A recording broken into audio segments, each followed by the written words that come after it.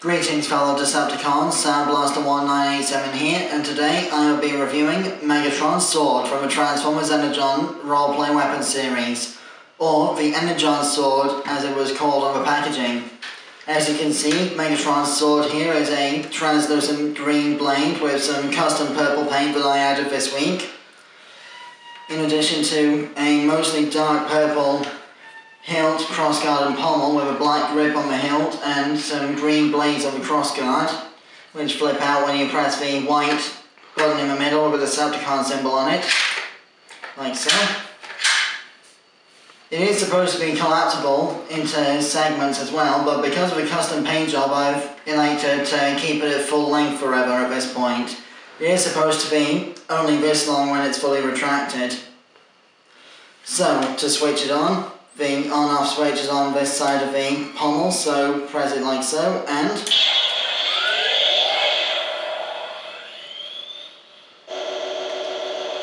It's hard to tell because of the lighting in here, but it is now switched on and glowing like a lightsaber would be.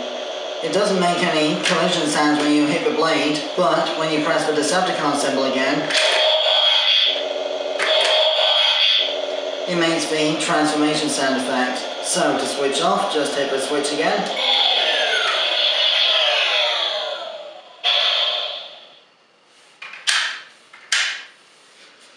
The design is pretty much the same on both sides, aside from the screw holes on the underside, and the fact that the Decepticon symbol on this side is not a button, it's a solid piece.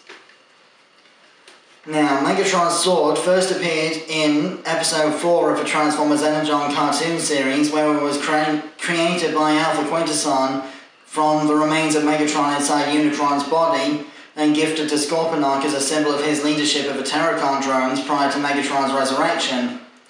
Then it was stolen by the Autobots and copied so that the Omnicons could use it as a means of controlling the Energon supply in their minds to protect it from the Terrorcons and the human ally Kicker also used a copy of Megatron's sword for a while. But then, once Megatron was resurrected in episode 6, he destroyed all of the Autobots' copies of his sword so that his was the only one left. That more or less concludes my review. Because this is a roleplay weapon, I don't have a size comparison available. I'll leave a link in the description to my Megatron actual Transformer figure review from way back at the start of the channel in the description below. Join me next time when I'll be going back to my monthly vlog series for June 2022 with the history of the Sixth Ranger concept in the Power Ranger series. Till then, till all